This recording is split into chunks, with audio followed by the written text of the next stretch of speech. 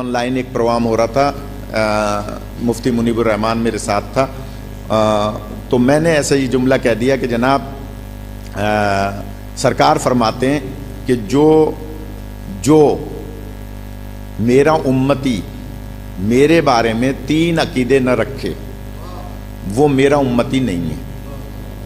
ये आलिम ऑनलाइन में ये मैंने कह दिया उस पर मुनीबर रहमान ने बड़ा लेदी की और बहुत बदतमीज़ी की।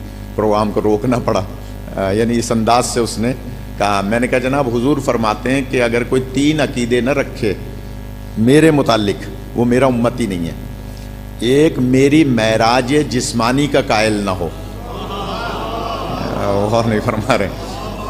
एक, मेरी महराज जिस्मानी का कायल ना हो।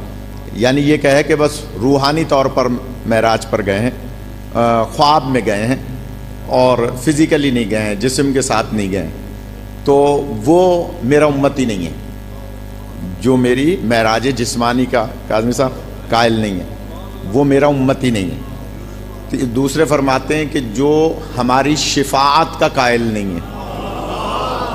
और फरमा रहे हैं, खुदा सलामत रखे, ज़िंदा रहें।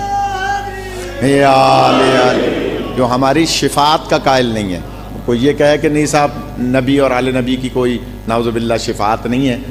तो वो मेरा उम्मती नहीं है, हुजूर फरमाते हैं। और कीजिएगा नकवी साहब, और तीसरी बात फरमाते हैं कि जो हमारी रजअत का कायल नहीं है।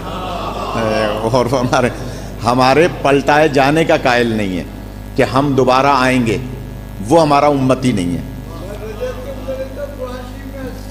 बहुत सारी जगहों पर। लेकिन वो उस रजत को आ, कहते हैं कि मक्के से मदीना जाना।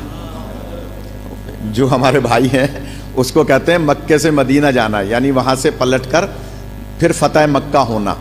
वो ये कहते हैं। और जब मैंने ये बात की तो वो कहने लगे नहीं जी वो रजत वचत कोई चीज़ नहीं है। मैंने कहा जनाब जब दौर आएगा तो पता चलेगा। जालिम भी आएँगे, मजलूम भी आएँगे।